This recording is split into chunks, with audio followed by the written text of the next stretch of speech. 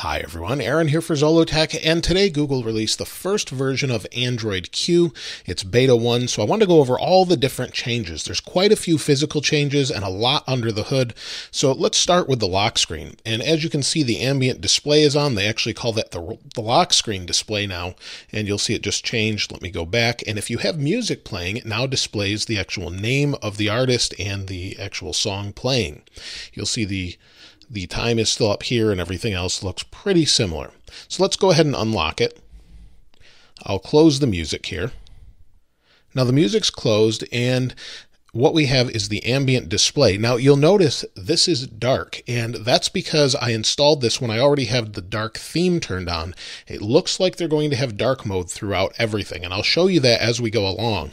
But as you can see here is the lock screen display. So if I go to the display this is what it looks like and this is actually just black. There's no pixels turned on so it's it actually should save quite a bit of battery when you're in these different menus. So if we scroll down you'll see it says lock screen display. It no longer says ambient display. And then you have your different options here as well. So that part's all new. So let's go home. And what we'll look at next is actually the emergency has been added to the power button. So if we hold the power button, you'll see emergency here. So that's a new change as well. If we hit that, it will actually let us put in our emergency information, dial 911 or whatever our emergency number is. So that's built in, really nice there as well. So let me go to show you this is Android Q. Give me just a moment here. So you'll see this is Android Q. Now if I tap on the Q, we'll actually get the P. But if I keep tapping on the P, there we go. Now we've got a little drawing pad we can draw on. We can change the colors and change a couple different settings. We can change all sorts of things. It's kind of neat. So there's a bunch of different things built in. That's just built in, something fun to play around with. Now, as far as the apps are concerned, the app switcher looks a little bit different. They've rounded the corners, so let me swipe this one off. You'll see the corners are now rounded, and that part's just a little bit different. And then if I tap and hold on an application, go to app info. The app info is a little bit different as well. We can open the app directly from the app info, uninstall it, or force stop it. It also tells you how many times you've gotten notifications per day on this particular app, storage information, and everything else. Now, if I go home and then I hold this, then I drag it to remove, now you'll see it says item removed. I can hit undo. So that's just built in. If you remove an item from the home screen, Every time it will pop up and you can undo. Now, if you uninstall it, it does not pop up. Now, like I said, dark mode is all over the place. So if I pull down the notifications here, let me swipe some of these off and you'll see there's a lot of a lot of different notifications that are dark.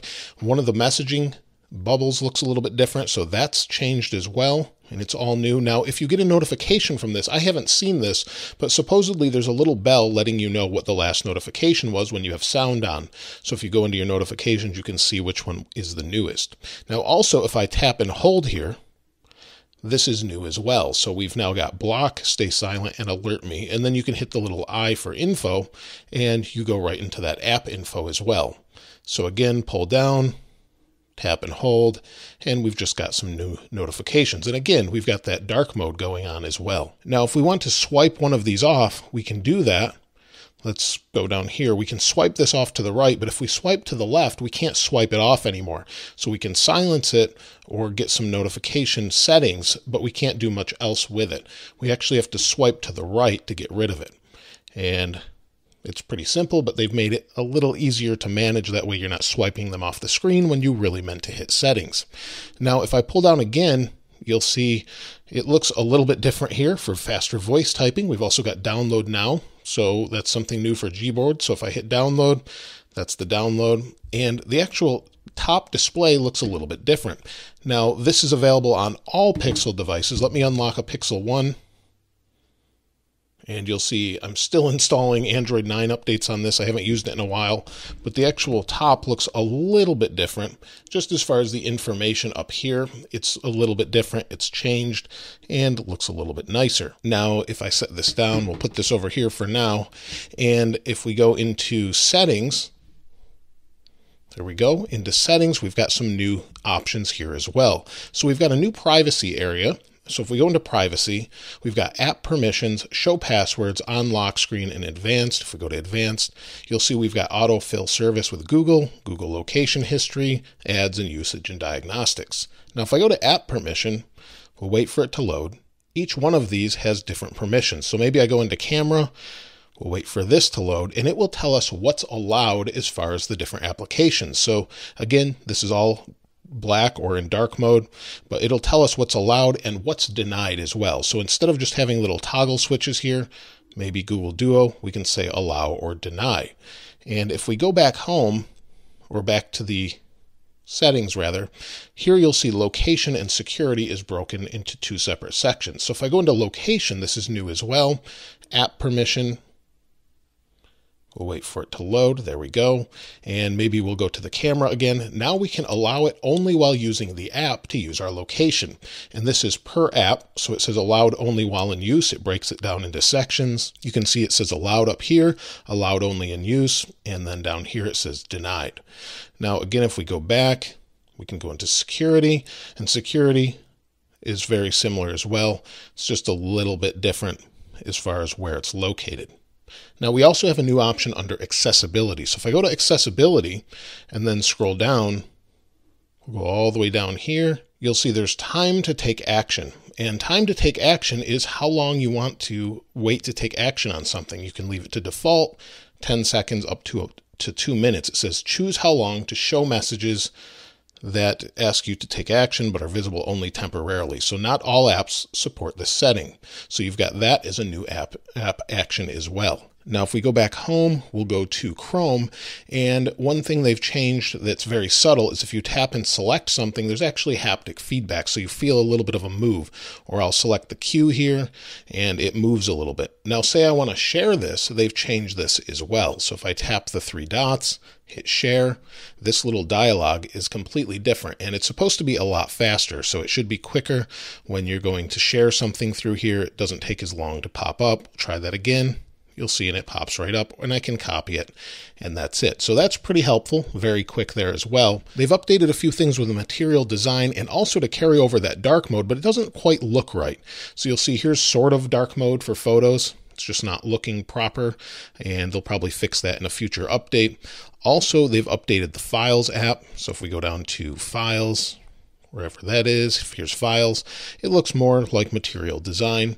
And then they've also updated the wallpaper app. So if you tap and hold, go to wallpapers, and you'll see if I go into, say, Living Universe, tap on one of these, it just looks a little bit different, a little nicer, I think, gives more information, and tells you about the different wallpapers.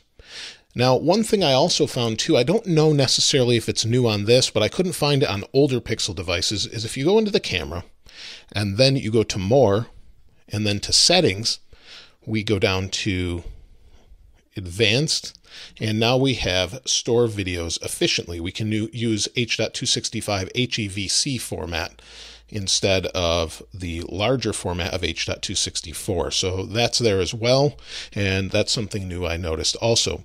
Now there's also a new dialog that can pop up for different settings within applications. So maybe you're in Chrome and you want to see settings within here. They haven't updated this yet, but let me show you a screenshot that Google has shown of what this will look like when you try and look at settings within an app. It can pull up some of the system settings and it looks pretty good and it makes things more easy to access. Now we're back at the home home screen. And I want to show you there's an option to share Wi-Fi that's a little bit different. So go to your Wi-Fi, hit the little settings here, and then you can hit share and you confirm it with your fingerprint and that's a new dialog as well. And then you can share it with a QR code. So if you put your fingerprint on it, it shares your password with a QR code. And that's pretty nice. Simple to share your password that way, and you should be good to go there. Now, some of the other options have to do with developer options. So let me go ahead and turn that on. Now, in developer options, here you'll see there's an accent color, and we can change this to different colors depending on what we like. So it kind of hints at another dark mode's theming or setting, but it doesn't do anything but change these accent colors. So we can change it to default. And then the next thing is freeform windows. So if we scroll up a little bit here, freeform windows, if we turn that on and then we go here and then maybe we go here, we've got split screen and then freeform. So if we tap on freeform, it doesn't really do anything yet, but it's there and maybe that's for different devices that may have different screen layouts. Now also there is force desktop mode and it says if we turn this on, and it says force experimental desktop mode on secondary displays. Can't really do anything with it, even if you plug in an external display. It just doesn't seem to do anything, but in the future we may be able to do something with that, and who knows what it'll look like, but I look forward to seeing what that's all about. Now finally, under the developer options, if we scroll down to feature flags here, go into feature flags, and then you want to scroll down until you find setting screen record long press. Turn that on, go home, hold the power button, long press screenshot, and now you can start screen recording. So it says System UI will start capturing everything that's displayed on your screen. Start now, and now it's screen recording. And so it's recording everything I do here. We can stop it now, in order to get the screen recording to stop, I actually had to turn it off where I'd turned it on and reboot. So hit OK. And now if we unlock, this is a little bit new. They have this little icon here that's a little bit different. So if I scroll up on this one, you'll see it's a little bit different. So let me go ahead and put in my passcode. Now there's a new dialog as well if you have an older app that needs to be updated to the 64-bit architecture and some other changes for APIs that they've updated so that you kind of co- are compliant with the latest versions. So maybe you want this wallpaper, and I'll leave a link in the description, but maybe you want the wallpaper, you want to get it from Twitter. This is Evgeny Zemelko's wallpaper. So maybe I want this wallpaper. I'll tap on this, and it says opening, and it's going to give me a little message here to let me know that it will be blocked in future Q builds. So that's something that's interesting. And then if I go here and open it, and go to Google Drive here, then I tap the three dots, and then I say download. It's going to pop up and ask me if I want to give it access to the actual device itself. So that's pretty nice, and, and it's actually just letting you know, hey, I want to have access to this. It's a little bit different than the dialogues we had before. So that's nice. So we'll just say allow, and then I'll be able to save it. So that's it for the major physical changes. Some people are saying they're seeing not just the percentage here, but the actual time that's left on the battery as well when the percentage isn't there. It just depends how you have it configured. And also, there are a ton of behind the scenes changes. So I'm going to run through those quickly uh, just to tell you what they are. So that's it for physical, but let's go ahead and take a look at what they've actually changed behind the scenes. There's quite a few. Now, the first thing they've changed is improvement to the ART runtime, which helps apps start faster and use less memory. There's also more control over apps, controlling access to shared files, and users will be able to control apps' access to photos and videos or audio collections with new runtime permissions. There's also increased protection around Bluetooth, cellular, and Wi Fi, along with verification. And Android Q, they're extending support for passive authentication methods such as face recognition as well. Android Q also adds support for TLS 1.3 security protocols. It's got improved peer to peer and internet connectivity. There's also Wi Fi performance modes for high performance and low latency. And there's also a couple new audio and video codecs. So there's support for AV1 and HDR10 Plus and Opus for audio. There's also native MIDI support APIs for MIDI device communication. And then also, they're working towards an OpenGL standard for devices so that things are more unified, built on the Vulkan uh, platform. So there's also support for Angle on top of that Vulkan platform on Android devices for 3D graphics. So there's also updates for neural networks with 60 new ops and performance optimizations. And then Android Q also restricts access to more non SDK interfaces. So there's more public SDKs to make things more seam- seamless with new updates. And finally, Android Q will warn users with a dialog when they first run an app that targets a platform that has an API level that was prior to Android Marshmallow. Apps now have access to dynamic depth information as well, so they can build that into different applications. And also, there's now support for foldable displays and new innovative screens in the future. So there are a ton of changes, and I'm sure we'll see some changes with that developer conference in a few months. So the app drawer really hasn't changed at all. It's basically the same, but everything seems to be pretty fast. But this is a beta and it's an early beta, and they do warn of bad battery life. And if you're going to try this, make sure it's on a secondary device. I wouldn't really recommend it on a main device. It does work on Pixel 1 through Pixel 3 XL, so this is a Pixel XL. Uh, will work on all of the different Pixel devices, but that's it for now. Maybe it'll be on some other devices later on. Like I mentioned earlier, though, if you'd like to get your hands on this wallpaper, I'll link it in the description. And if you found anything I didn't mention, let me know in the comments below. I'd love to see what else they put in here.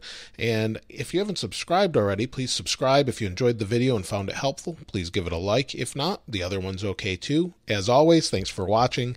This is Aaron. I'll see you next time.